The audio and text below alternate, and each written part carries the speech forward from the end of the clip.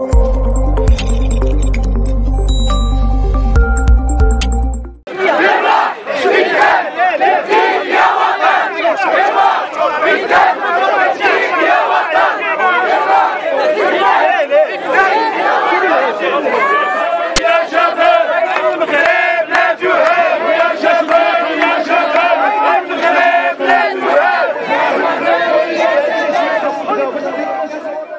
اليوم اليوم نظمت هذه الوقفة الاحتجاجية أمام قنصلية العامه لأحد البلدان الشقيقة اللي مؤخرا الكل تعرف على أنه واحد المواطنة اللي بحقيقة حاشا أنها تكون مواطنة مغربية لأنه العمل اللي قامت به واحد العمل واحد العمل شنيع اللي ما تيرضي حتى شي مغربي اللي هو تيحس أنه مغربي حر.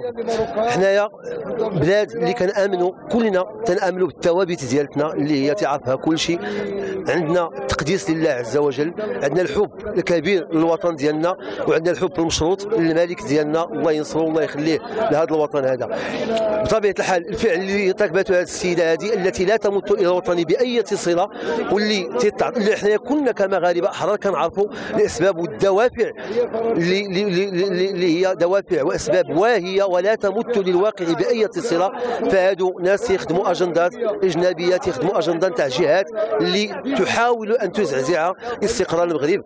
هاد الزعزعة اللي هي بعيدة المنال على هاد الناس هادو لأنه جميع المغاربة كيتصدوا لها وما عمر بحال هذه المحاولات هذه غادي غادي يكون المآل ديالها مآل ناجح. ستكون دائما فاشلة لأن كل مغربي مواطن حر يؤمن بثوابت وطنه.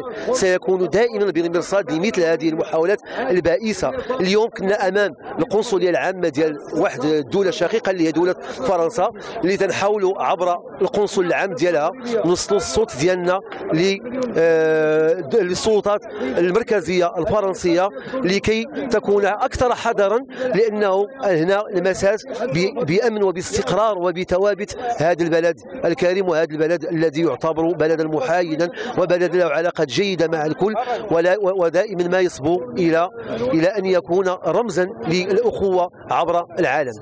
إحنا اليوم أنا وجميع الأعضاء جمعيتنا حضرنا لهذه الوقفة الاحتجاجية باش نعبروا عن نعبروا عن استنكارنا الواقعة المؤلمة اللي جميع المغاربة تأسفوا لها وشافوها وحنا من هذا المنبر هذا حنا على استنكارنا الشديد وجينا نوقفوا وقفة رجل واحد. قبل ما تخرجوا ما تنسوش تابوناو في la chaîne يوتيوب وبارطاجيو هذا الفيديو مع أصحابكم. وما تنسوش ديروا j'aime الموقع إحاطة على شبكات التواصل الاجتماعي.